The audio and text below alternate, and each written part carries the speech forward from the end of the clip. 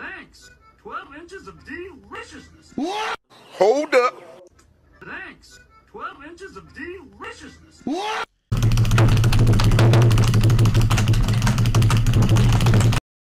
God is good.